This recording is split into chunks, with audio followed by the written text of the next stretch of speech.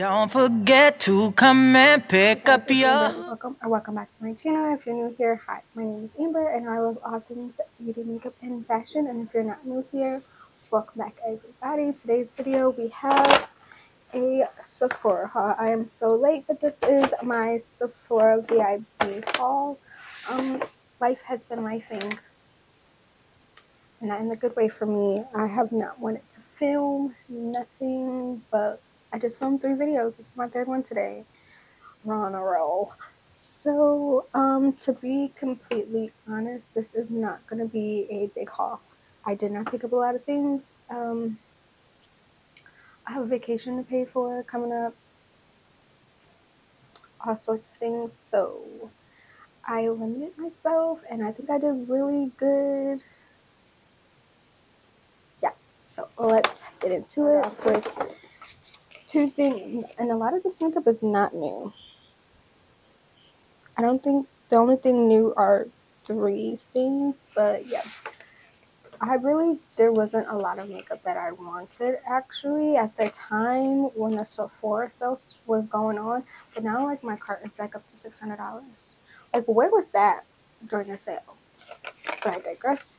First thing I got, which I am so happy I finally got my hands on, this is the Makeup by Mario Ultra Suede Sculpting Lip Pencil, and I have mine in the shade Jeff, which is a beautiful chocolate brown. It has a lip brush on one side, and here is the liner. It is the lip liner I have on. And currently, I'm about to pick up three more of these. The formula is beautiful. Also by Makeup by Mario. Stop rolling. Also by Makeup by Mario, I picked up the Pro Volume Lip Gloss in the shade Golden Nude. Now, this is what it looks like. It is the gloss that's on my lips, but it's under a lip gloss. Um, it's a very beautiful formula, but I like when my lip glosses smell like cupcakes. This doesn't smell like cupcakes. Yeah, I picked that up, and surprisingly, that's the only lip products that I picked up. Shocker, right? Um, I picked up the Saie Dew Blush. It's a liquid cheek flush in the shade Spicy. This is her. Um, I just filmed this look and it featured majority of these products. There's just one I didn't really use.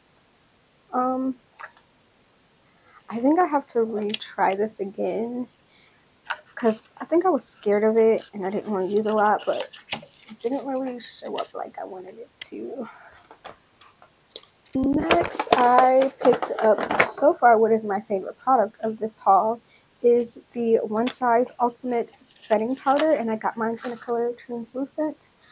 I've been wanting to try this so for so long, and I just picked up a mini size because I have a bunch of translucent powders, and I'm finna go on vacation, and that's gonna be a great one. That powder, 10 out of 10. Now I need to buy the setting spray. I'm gonna get the setting spray before I leave. Um, you guys should have already seen a video on these, so I'm not even going to go into detail. I picked up three out of the six of the Giorgio Armani blushes. I'll show you one. This is the shade 40 Mania, and this is what's on my cheeks under, over the Saie blush. It's such a pretty color. So I picked up I'll actually show you all of these since it's not going to be a long haul. Then I picked up the shade 52, which is called Ecstasy, a bubblegum pink. And then my favorite is shade off shade 30, which is called Offbeat, which looks like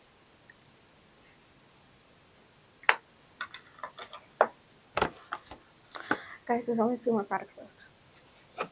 I'm so proud of me.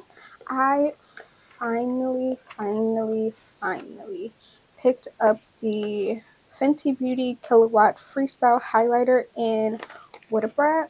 Now, my goal for this is, oh my gosh, and I didn't even open it. The product, the thing just came out. This, oh.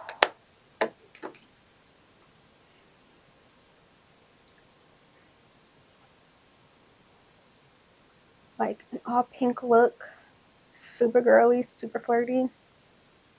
Oh, I cannot wait to put that on my cheeks. I didn't put it on today because I have something in mind for that. And then the last item, which was my ticket item, the most expensive for $95. I picked up a fragrance. That's not it. This is the Bur my Burberry blush um, perfume. To be honest, when I smelled it in the store, it smelled totally different but she's nice. She's going to be nice to have in the summertime. This is a very, pow- I want to say floral and powdery. It smells good. I can picture this in a nice, white, flowy dress on the beach somewhere. Hmm, overall, I'm glad I have her, but it, I have to go make sure this is the one that I wanted because it don't smell like the one that I wanted. But guys, that's it. That's all that I bought. Is I feel like I bought other stuff, but I already put it up. Guys, so that was it. That is literally all that I bought during this Sephora VIB sale. Um, very underwhelming, but I'm pretty sure I paid a good three, four hundred dollars for all this stuff. Cause these blushes was already thirty-two dollars.